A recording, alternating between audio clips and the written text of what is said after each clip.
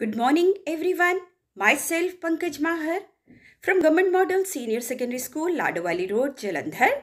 Today, I'm here before you to express my gratitude to the Punjab School Education Department for launching English Booster Clubs at every government school.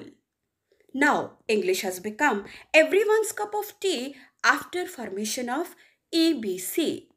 Being a Hindi mistress, I sincerely admit that we are doing pretty well at national language level as well as at regional languages. But as far as English speaking is concerned, we are just little bit hesitant. So, to remove my hesitation and to improve my confidence level, I have joined EBC. So, friends, my message for you all is don't limit yourself. Join EBC today and now. Thank you very much.